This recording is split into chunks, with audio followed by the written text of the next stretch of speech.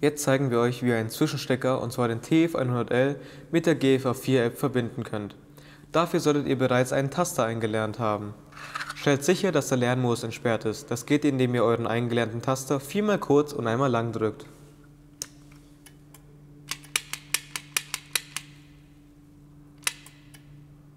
Nun können wir das Licht wieder ausmachen und unter Geräte unter Mein Zuhause auf das Plus-Symbol tippen. Nun tippen wir auf Aus der Liste wählen und scrollen runter bis zum TF100L 230 Volt.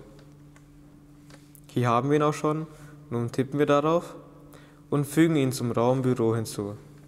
Wir können ihn auch umbenennen. Ich nenne ihn in Licht um und tippe auf Weiter. Nun wird das Gerät angelegt.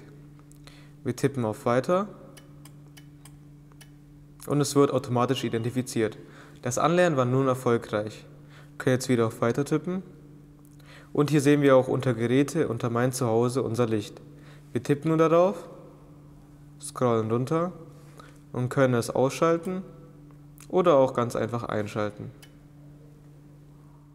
Like das Video, wenn es euch gefallen hat und hinterlasst uns gerne einen Kommentar, falls noch Fragen offen oder ihr Videowünsche haben solltet.